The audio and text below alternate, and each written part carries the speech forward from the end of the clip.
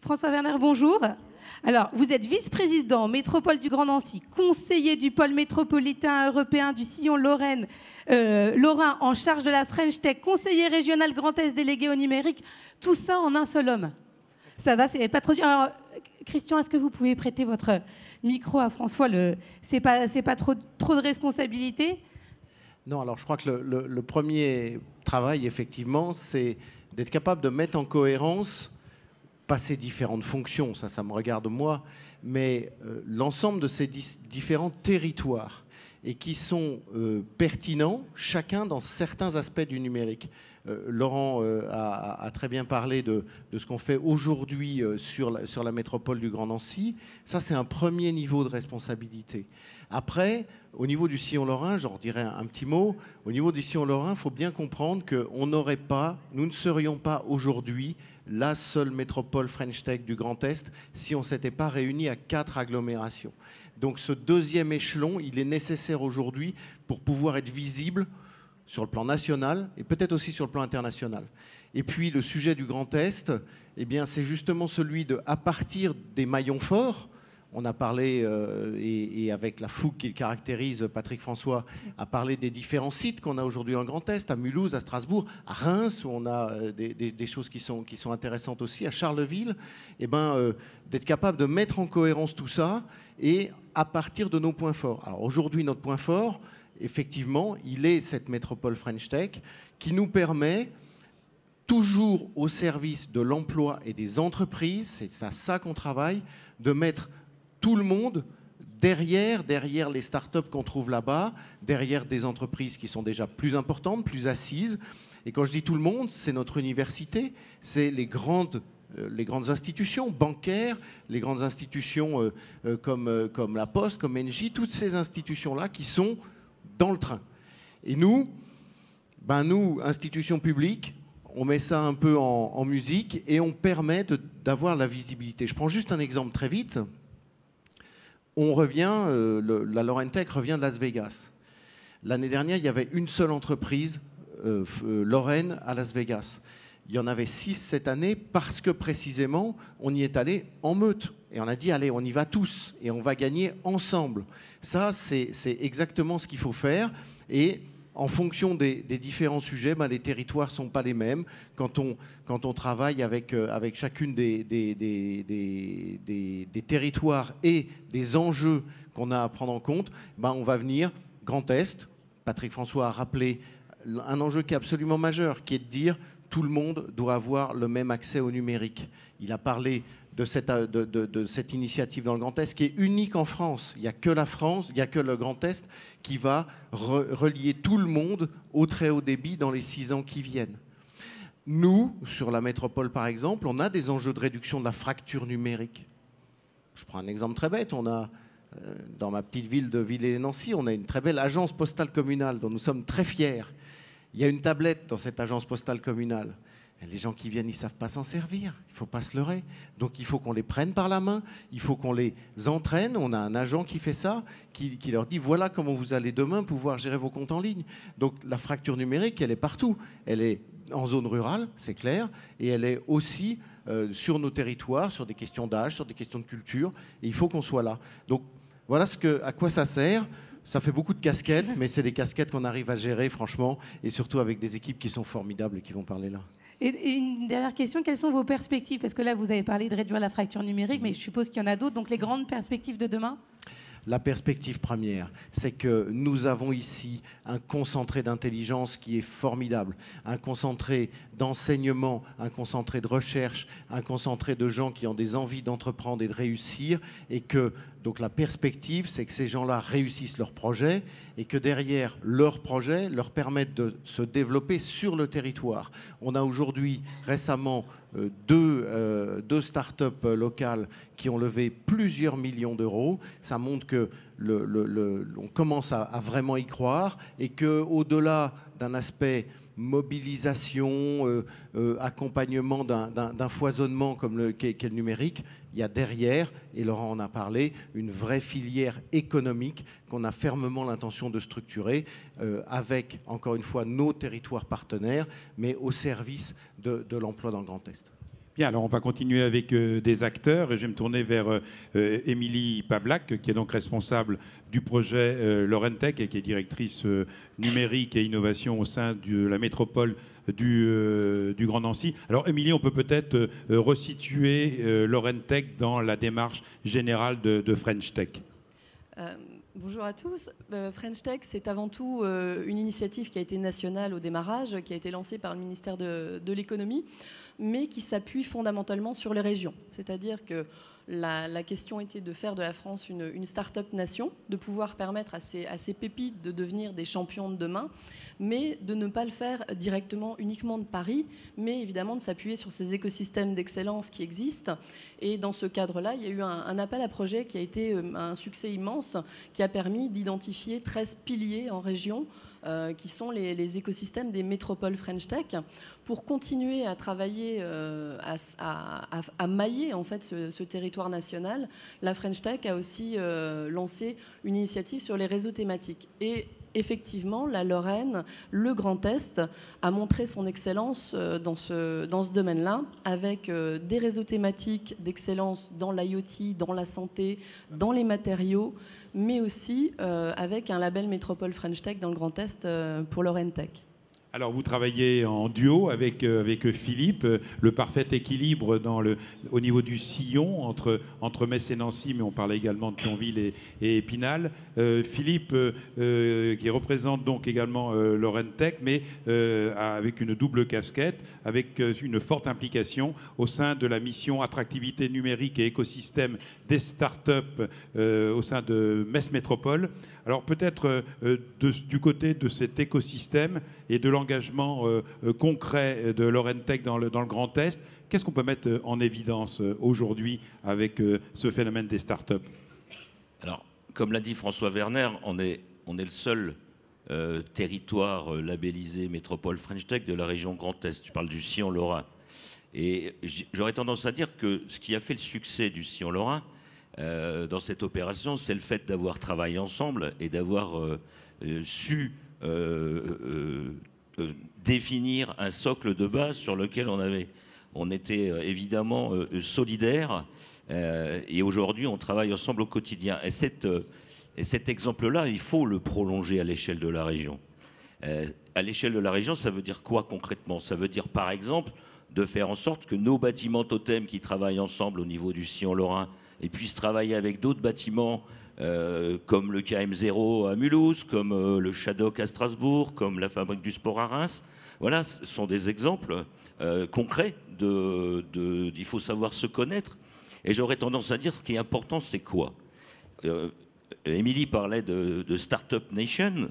Nous, région Grand Est, on est une Startup Region. Voilà.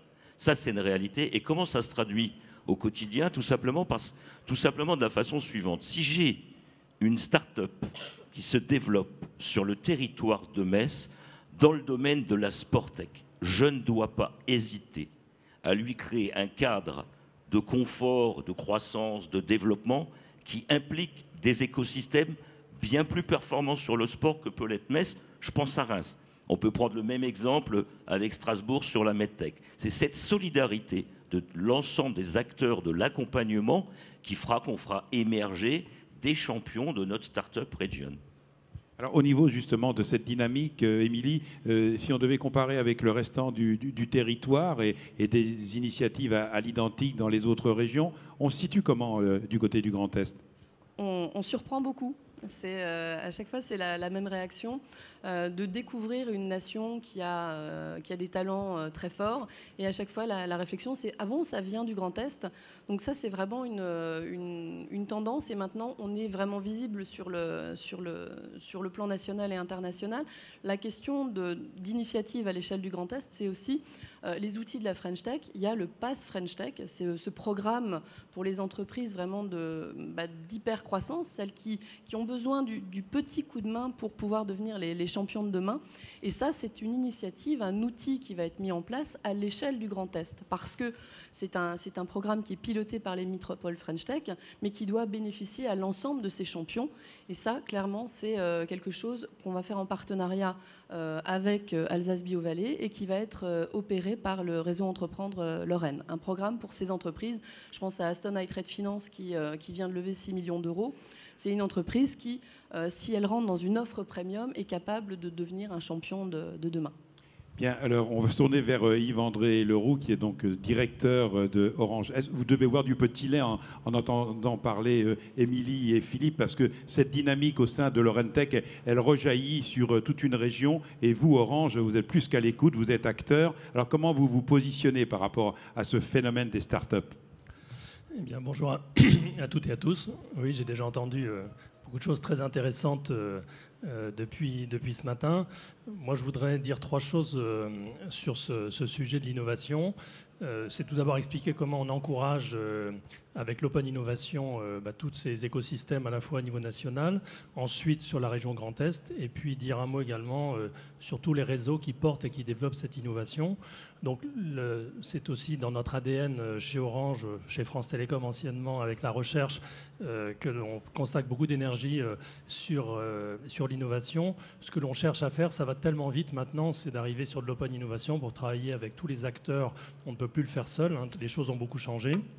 Et donc on cherche à repérer des, acteurs qui vont changer un peu la, vie des gens, des nouvelles façons de, de, vivre et de travailler. Alors il y a bien sûr tout le domaine de l'Internet des objets, du paiement mobile. En tout cas, il y, a, énormément de domaines dans lesquels il y a de l'innovation.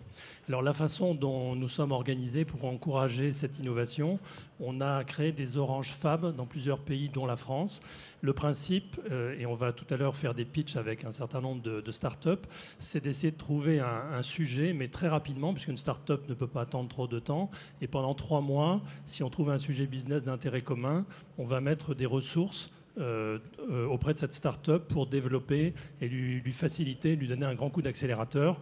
On a par exemple à Paris Orange Gardens, qui est un, lieu euh, qu'on a inauguré récemment, et on peut accueillir des start-up pour travailler avec nous.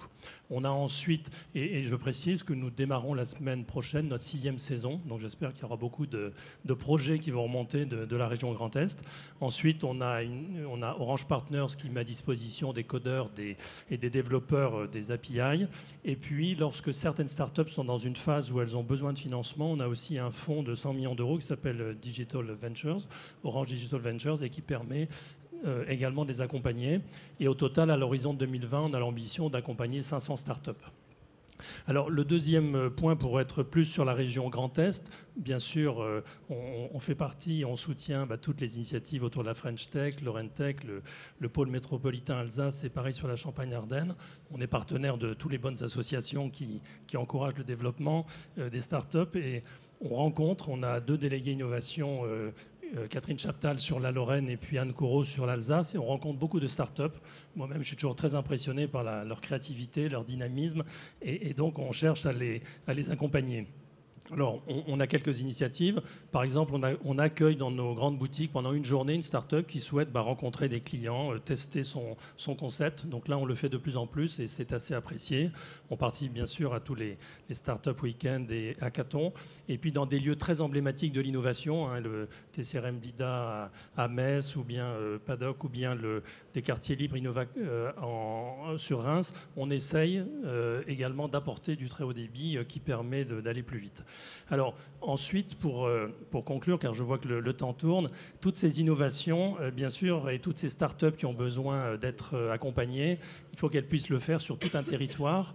Et donc, ça a été dit tout à l'heure, il y a bien sûr, pour, vous donner un chiffre, le, trafic dans les télécoms est multiplié par deux tous les 18 mois. Donc c'est phénoménal. Il y a une, une explosion que l'on accompagne.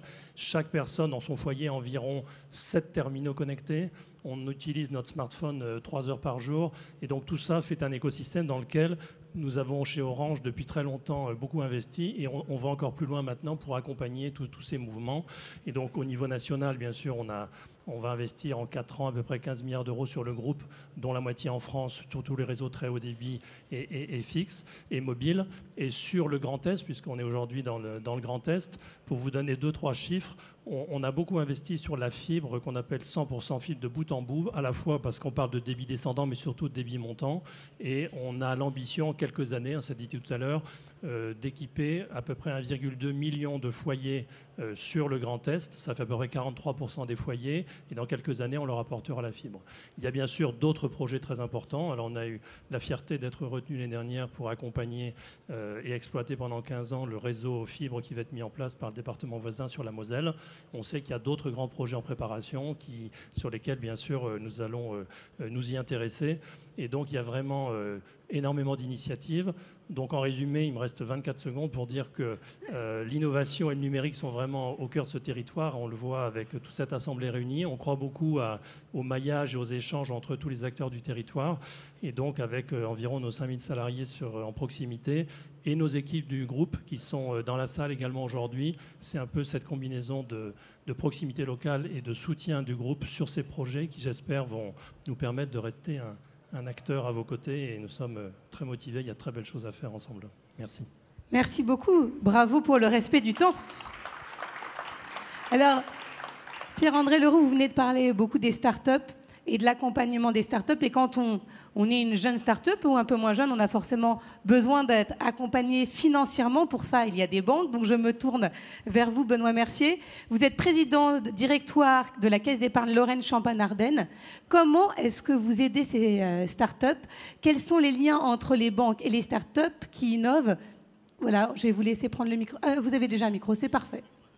Donc comment vous les aidez? Comment vous les sélectionnez? Bien, bonjour, euh, bonjour à toutes et à tous. Euh, d'abord, je, voulais vous dire que j'étais ravi d'être là. C'est la première fois, je crois, qu'une banque comme la nôtre est présente dans une manifestation telle que celle-là. C'est un peu de fierté auprès des grands acteurs de, l'activité économique, régionale, nationale, et puis bien sûr de nos amis de la Caisse de dépôt. Donc, d'abord, vous dire que c'est beaucoup de fierté. Ensuite, euh, vous faire juste quelques secondes, alors j'ai aussi le décompte du temps de l'historique. Pourquoi, pourquoi on a voulu rentrer sur ce marché? Euh, parce qu'il nous semblait, nous qui participons au développement économique des régions et donc de la nation depuis 200 ans l'année prochaine, qu'il était indispensable qu'on participe à l'aventure et au grand développement du numérique. Donc, euh, deuxièmement, en allant voir ce qui se faisait à Nancy, à Metz, euh, j'ai senti que visiblement il fallait créer une offre nouvelle. Et donc, on a sollicité notre groupe pour être casse-pilote et ouvrir ce qu'on appelle Neo Business. Donc, c'est un nouveau marché un marché sur lequel des commerciaux sont spécialisés, un marché sur lequel nous offrons euh, une gamme de services assez large qu'on pourra vous décrire là, dans, le haut, à côté, mais simplement je voudrais insister sur le fait que ce n'est pas que du financement, c'est surtout du conseil et de l'accompagnement. Conscient que dans un premier temps, ce qui manque le plus, ce qui peut choquer de la part d'un banquier, c'est pas forcément l'argent, mais c'est plutôt l'accueil, c'est plutôt l'accompagnement, les explications autour de ce que c'est qu'un business plan, ce que c'est qu'un plan marketing. Euh, et ça, ça a été notre volonté d'être présent au sein même des, incubateurs, en créant euh, une deuxième nouveauté, je veux dire concept, mais ce serait vraiment trop ambitieux, euh, ce qu'on appelle des hubs innovation. Donc là, toujours dans l'esprit d'être très ouvert, nous avons mis des bureaux sur place, une sorte de nouvelles agences, beaucoup moins chères que les anciennes d'ailleurs, dans lesquelles nous recevons les startups quand elles le souhaitent, mais surtout nous l'ouvrons à tous nos partenaires. Donc euh, tous nos partenaires euh, banques, mais euh, aussi bien entendu conseils, avocats, enfin bref, je ne vais pas tous les citer, c'est open, quoi. Ils peuvent venir et eux aussi discuter et offrir des conseils à, ces startups. Voilà, c'est l'essentiel de, l'idée là, c'est d'être présent, d'éviter de demander le bilan sur les trois dernières années pour une entreprise qui n'est pas encore vraiment créée d'avoir des, conditions de risque et d'accès au crédit différentes. Et on peut, parce que je crois que c'est important, c'est surtout en discutant avec eux que j'ai été conforté dans l'idée, je crois que les startups, comme tous nos clients, ont besoin d'être rassurés sur le fait qu'elles vont être suivies financièrement du début jusqu'à la fin. Donc le début, bah, c'est pas beaucoup. La fin, c'est de pouvoir accéder. C'est un de nos clients. Euh, qui, vient de lever 6 millions d'euros. Et pour nous, ça, c'est vraiment la garantie de, de ce que nous apportons quelque chose qui est utile. Et c'est ça notre devise aujourd'hui, c'est d'être utile. Et est-ce qu'il y a un critère euh, pour vous euh, principal pour pouvoir soutenir une start-up Qu'elle doit posséder? Quel est le critère pour vous incontournable? On n'est pas capable, contrairement à certaines activités que nous rencontrons régulièrement dans les comités d'engagement, d'être à la hauteur d'un bon jury dans tous les domaines. Donc s'il s'agit de fintech ou d'assurtech, on a une idée, et encore, c'est sans fausse modestie, c'est pas suffisant. Donc on s'entoure des équipes ici que je salue, parce que c'est grâce, grâce à elles et à tout ce qu'ils font dans les différents sites, euh, qu'on est, est, capable à ce moment-là de dire effectivement c'est un bon dossier. c'est souvent un projet, une équipe, etc. Mais euh, ça rentre, euh, c'est un peu au-delà de ce qu'on a l'habitude de voir. Donc il faut rester à sa place, c'est-à-dire laisser faire les jurys qui vont sélectionner les startups et lorsqu'ils considèrent qu'ils ont des bonnes startups, alors on met en place avec eux euh, des conseils et puis un suivi. Et ça devient un client classique, mais la sélection au départ dépasse un peu les compétences d'une banque traditionnelle. Je crois que ce serait dangereux. Merci beaucoup. Et voilà, pour boucler cette euh, table ronde, je vais me tourner euh, vers euh, Bernard Kirkinger, qui est directeur régional du groupe SOS Grand Est. Alors, on a parlé effectivement de, de Lorraine Tech, puisque vous êtes tous des acteurs. Comment vous vous impliquez avec votre groupe dans le sillage de ces startups alors, le, le, groupe SOS gère des établissements de santé, gère des établissements pour personnes âgées, pour handicapés. Et le groupe a la particularité de se définir comme une entreprise, comme une entreprise avec les valeurs de l'économie sociale et solidaire, mais on a exactement la même démarche que Orange ou Engie, c'est qu'on a constamment l'obsession d'améliorer la qualité de service et on a l'obsession de l'efficacité économique. Donc on cherche des nouvelles solutions, donc on est à l'affût de nouvelles solutions, donc on développe par exemple, on en parlera un peu plus tard dans la journée, Senior Connect pour les seniors, euh, on développe la télémédecine, on essaye d'apporter au territoire des solutions nouvelles, des solutions plus inclusives. Euh, j'avais déjà évoqué euh, dans une de nos rencontres récentes, précédentes la démarche WeMove autour de la mobilité. WeMove a été créé maintenant depuis trois ans. On aide les gens à résoudre leurs problèmes de mobilité. En trois ans, on a créé trois plateformes en Moselle. On a 11 salariés aujourd'hui. On a touché en 2016 à peu près 1000 personnes et on a aidé à peu près 300 personnes, soit à rester dans l'emploi, soit à trouver un emploi en, les aidant à résoudre leurs freins à la mobilité. On gère à peu près 45 véhicules aujourd'hui. Donc on est à l'affût, on apporte des solutions. Et, de ce point de vue-là, par rapport à TCRM Blida, je dirais comme tous les grands groupes, on a besoin aussi d'aller se nourrir d'être en contact avec des lieux où souffle un esprit différent. Et par exemple, le digital, évidemment, ne fait pas partie de notre cœur de métier. On a besoin de ce contact avec des startups. Et de ce point de vue-là, TCRM Blida à Metz, c'est absolument une aventure fantastique. Je reprends un mot de Marie Tribou tout à l'heure. Euh, c'est un lieu où règne l'optimisme. Et je crois que c'est très, très important dans la dynamique économique collective d'être euh, connecté à des lieux où règne cet optimisme, où on a l'impression euh, d'inventer quelque chose de nouveau. Et, c'est parce que euh, vous trouvez là des artistes, vous trouvez là des jeunes entrepreneurs. Demain, il y aura un pôle média à TCRM Blida. Et un de nos objectifs, c'est de créer un incubateur aussi pour les entrepreneurs sociaux. Parce que vous avez des gens aujourd'hui, des jeunes qui veulent créer des entreprises dans l'économie sociale et solidaire. Et il faut absolument les accompagner comme on accompagne aujourd'hui des startups numériques.